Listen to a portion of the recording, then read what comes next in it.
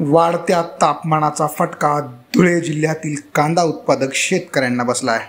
कांद्याला चांगला हमीभाव मिळेल या आशेने शेतकऱ्यांनी कांदा साठवून ठेवला होता.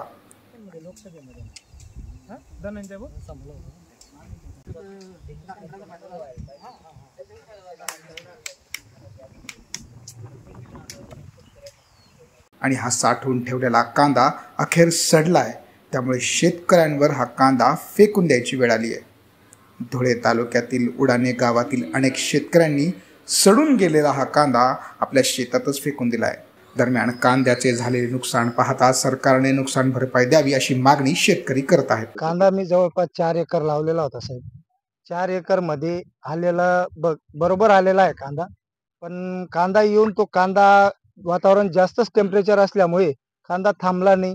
आणि जर त्याच वेळेस जर कांदा विकला असता भाव राहिला असता तर मी त्याच वेळेस हा कांदा विकला असता चाळमध्ये भरण्याची गरज आली नसती. पण शासनाने कांद्या निर्यातच उठवली नाही. त्याच्यामुळे ही वेळ आली. चाळमध्ये भरण्यास आता एकच महिना जवळजवळ झालेला आहे. एक महिन्यातच हा पूर्ण कांदा काढून फेकावा लागलेला आहे. पण काय नाईलाज आहे. आता शासनाने आमच्याकडे पाठच फिरवलेली आहे.